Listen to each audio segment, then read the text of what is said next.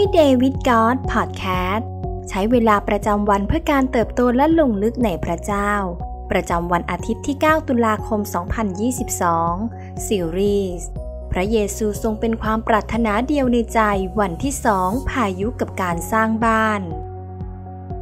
ในมัทธิวบทที่ 7 ซึ่งเป็นช่วงท้ายของคำเทศนาบนภูเขา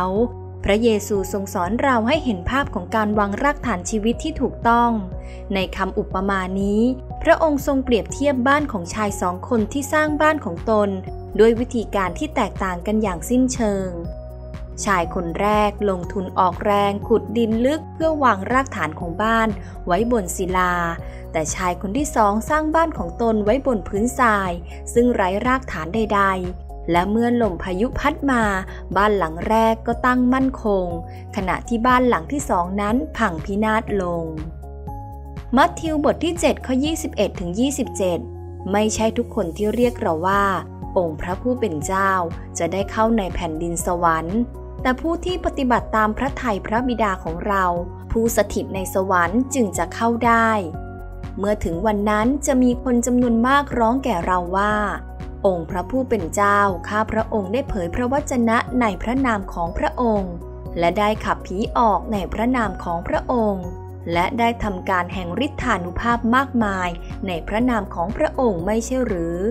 เมื่อนั้นเราจะกล่าวแก่พวกเขาว่า เราไม่เคยรู้จักพวกเจ้าเลย เจ้าผู้ทำความชั่วจงไปเสียให้พ้นหน้าเรา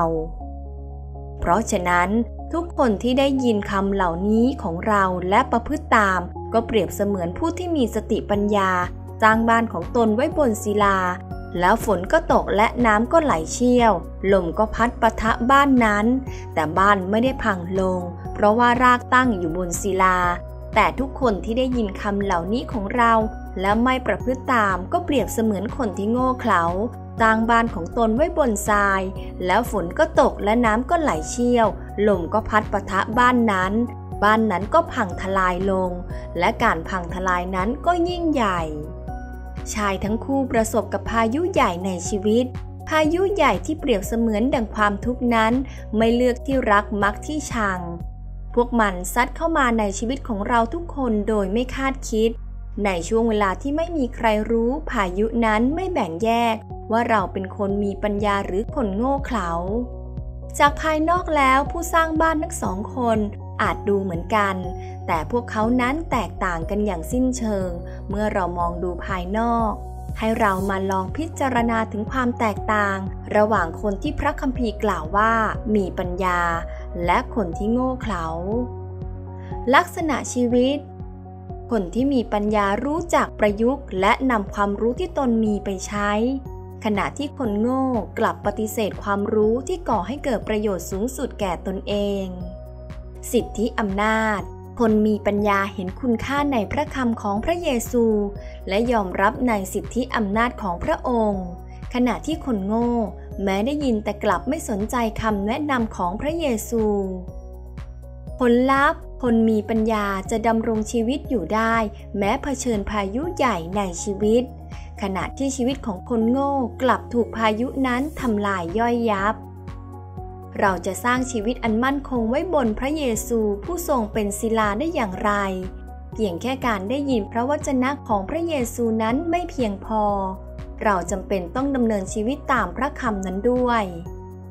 เพราะเมื่อเราได้ยินและเชื่อฟังสิ่งที่พระเยซูตรัส เราก็ทำให้ปัญญาปรากฏขึ้นในชีวิต พระองค์เท่านั้นที่คริสเตียนทุกคนจะพบความปรารถนาเดียวในชีวิตของเขาได้ ยอห์นบทที่ 8 ข้อ 31ถึง32 พระเยซูจึงตรัสกับพวกยิวที่วางใจในพระองค์ว่า ถ้าพวกท่านยึดมั่นในคำสอนของเรา ท่านก็จะเป็นสาวกของเราอย่างแท้จริง และพวกท่านจะรู้จักสัจจะและสัจจะจะทำให้ท่านเป็นไทย1สมูเอลบทที่ 15 ข้อ 22ถึง23 และสมุเอลทูลว่า พระยาเวพอพระทัยในเครื่องบูชาเผาทั้งตัวและเครื่องสัตวบูชามาก เท่ากับที่จะเชื่อฟังพระสุรเสียงของพระยาเวหรือ ดูเถิดที่จะเชื่อฟังก็ดีกว่าเครื่องสัตวบูชา และซึ่งจะเอาใจใส่ก็ดีกว่าไขมันของบรรดาแกะผู้เพราะการกรบฏก็เป็นเหมือนบาปแห่งการถือเลิกถือยาม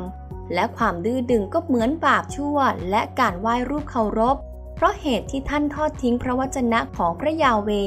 พระองค์จึงทรงถอดท่านออกจากตำแหน่งกษัตริย์ สิ่งที่ต้องใคร่ครวญในวันนี้